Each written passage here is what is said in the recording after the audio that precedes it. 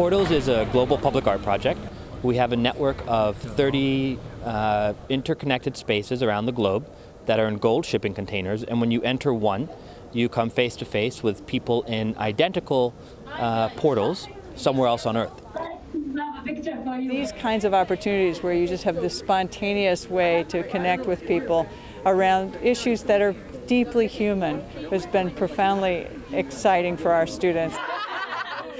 The one surprising thing was that they, they, they watched 13 Reasons Why uh, and Game of Thrones and a bunch of TV shows that I'm familiar with, so it was really cool to see uh, that similarity. What's your favorite? Favorite dish? I like macaroni and cheese.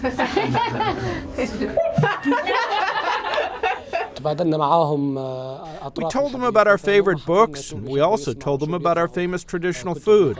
We also performed our traditional dance. We laughed and we had fun, and I had a great feeling. So, one of the people from Syria described how hard it is. He said the hardest thing was to become homeless. So, once they left their home, he had nowhere to, to live. It was really eye opening for me to see, uh, to talk to them and ask, well, what were you doing before this whole crisis?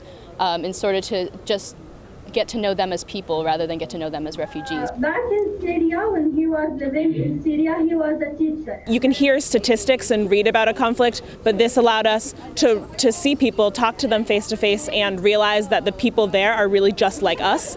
It was cultural exchange. We spoke about the plight of the Syrian people and we talked about what happened, the displacement and the refuge. I felt comfortable, and this was a chance to change our depressed mood. We also explained to them about the Arab nations, that they are not a fanatical people. Um, I have a question. Okay, go ahead. The experience of, of going in and really interacting with people that are different from you is like is a truly valuable experience that I think we should all have. We have incredible technology at our fingertips, but we tend to use it to talk to people we already know or to get ever more grounded in the groups we're already a part of.